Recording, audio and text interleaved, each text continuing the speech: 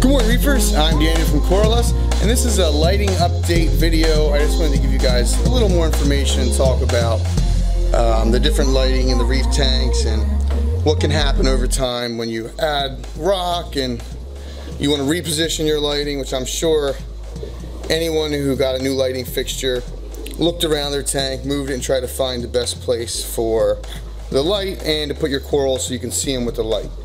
Um, I have here on my display the Ecotech Radions. Uh, these are mixed between the Gen 2s and the Gen 3s and I built a custom railing system to hold them.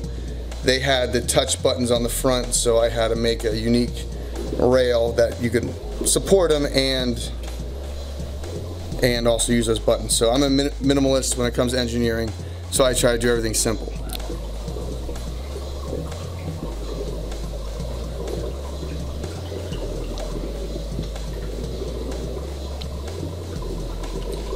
Since I'm so indecisive and I'm always changing things, it's so hard for me to commit to one mounting position.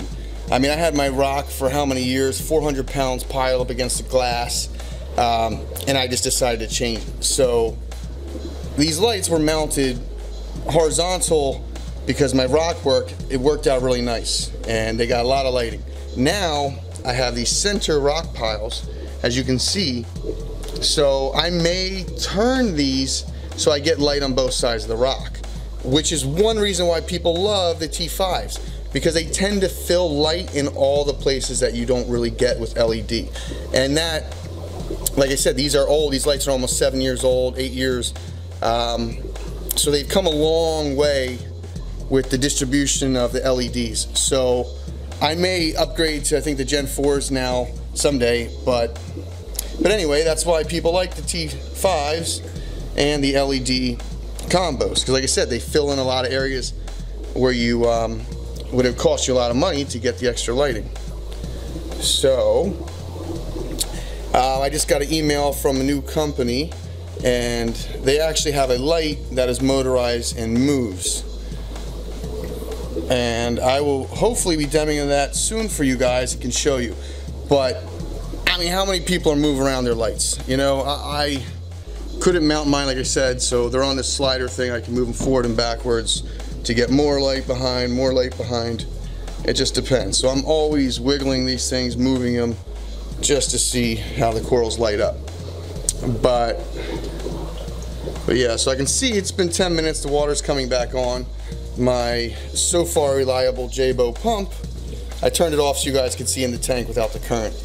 My tank has so much current you normally can't even look in. So these pumps are ramping back up.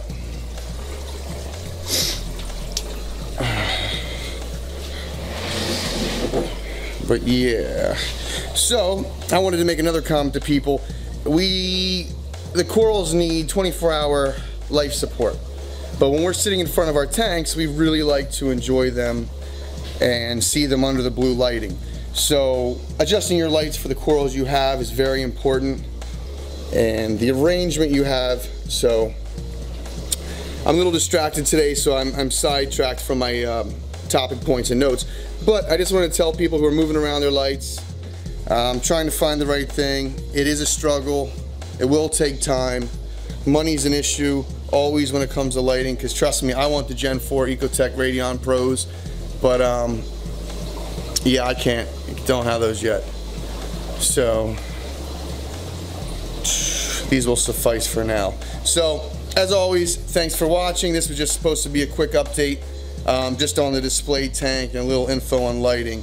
So I might as well tell you guys a little more about the corals that I added on the front of the tank.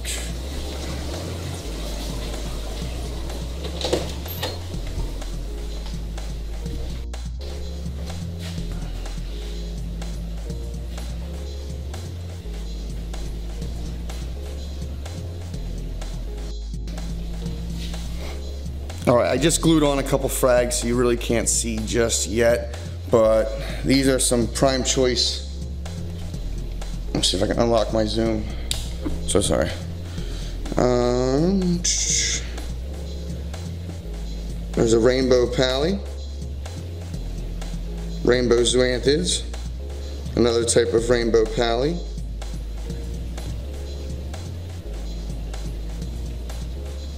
Some Rastas and Fruit Loops.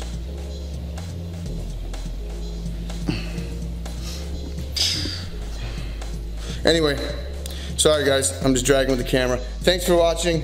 As always, happy reefing. Until next time, keep commenting, sharing the information. It's nice to have feedback from people. It gives us other hobbyists something to go by and tips and tricks are always welcome in this hobby. So see you guys soon.